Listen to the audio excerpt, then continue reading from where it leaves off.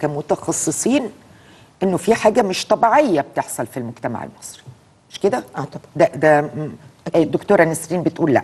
يعني أيوه أنا بقول مش بقول لأ أنا بقول إن ده على مستوى العالم يا جماعة. ونحن في ظرف عام. ما أقدرش أقول مش ان طبيعة الشعب المصري كانت ما فيش مختلفة. حاجة اسمها طبيعة. في حاجة دلوقتي أنت منفتحة على ثقافات متعددة منفتحة على عالم غريب افتراضي. بتستقي منه كل يعني أنا لما أشوف الدراما اللي مكثفة اللي بتعرض. أنماط من العنف. البشر من العنف وتظهر هذا البطل على أنه بطل همام في غيبة من القانون وكأن المجتمع ما أنا قلت لا يوجد آه. به رادع هذه مسألة غاية في الخطورة ولما يطلع أن هذا الشخص يكرم في كل المهرجانات. وفي كل المجالات وكأنه النموذج أنا الأمثل. بقدم للولاد إيه؟ أنا أنا عايزة أقول لحضرتك أنا طلعت في برامج كتير جدا. نعم. منذ سنوات عدة.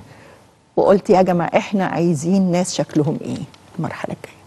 ناس اللي هم في أي مجال ناس إيه المواطن المواطن ما هو ده أيوة. المواطن ده شكله هل إيه؟ إحنا هينفع هيبقى هينفع نبدأ من جديد ما أنا هرجع لحضرتك في ده هن- بس كم كملي لي في مجال كملي لي في مجال الدراما دكتورة منى و... آه. و... وأنا قطعت حضرتك والدكتوره. نسرين قالت. وجهة نظرها هل الدراما والسينما بتلعب دور كبير جدا بتلعب. دور كبير؟ غاية في الأهمية غاية في الأهمية. أصل لو حضرتك تكلمي عن ممثل آه، لوحده ما هو الممثل ده ما بيعملش كل الم- المسلسلات برضه يعني. وغيره يعني مش واحد بس لا أنا مش بتكلم على واحد.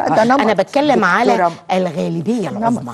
في الأفلام في المسلسلات لما نرصدها وأنا بقول لحضرتك المسلسلات لما نيجي نرصدها ونعمل لها رصد حقيقي وده تخصصي. نعم. هنلاقي كام من المسلسلات في حاجة رومانسية أو بتدعو للقيم و و و و- و على أساس إن الأسرة تبقى مترابطة و- وبتبقى حاجة رومانسية. شوفي حضرتك لما نقارن الفترة السبعينيات والثمانينيات والفترة الحالية. هنلاقي الفترة الحالية كم من المسلسلات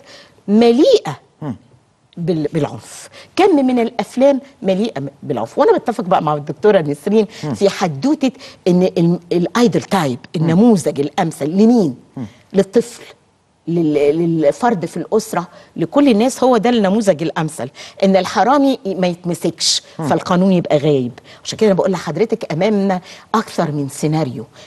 قلت لحضرتك القاتل وال- والمجني عليه والجماهير والبيئة المحيطة وأيضا ال- الدراما بتلعب دور والإعلام والقانون. طيب. فين الثغرات هل القانونيه إحنا هل إحنا في- يعني أنا عندي أيوة. دلوقتي نقدر نقول أن هذا الشخص يعدم في ميدان عام حتى يستريح الناس؟ يقول لك لا لسه في إجراءات و و و ولسه هنثبت ولسه نعمل استئناف. فطول المدة دي بتصيب الناس بخيبه أمل.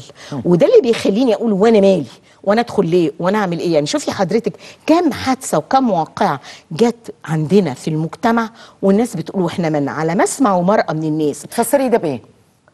ما أنا مش عايزة أدخل أروح الاسم لا يجيبوني وما أروحش الشغل لا أسيب الولاد لا يسألوني لا أتهم. فيقول لك لا سيبك. فبقت انانيه دكتورة طول عمر. الناس كده؟ لا لا ما كانتش كده؟ ما كانتش كده. يعني طبعا ما كانتش ما كانتش كده. بالسلبيه دي. ولكن سلبية هناك- جاية منين؟ جاية منين؟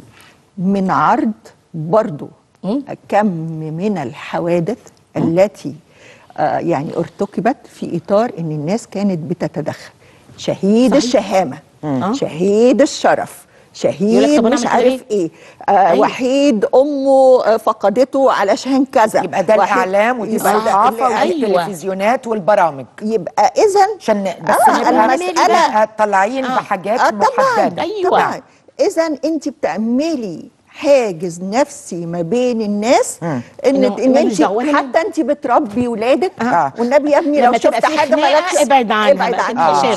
ما آه. تبقى وبعدين بربي يبقى فيه ما يبقاش شجاع ما يبقاش مقدام. لما نظهر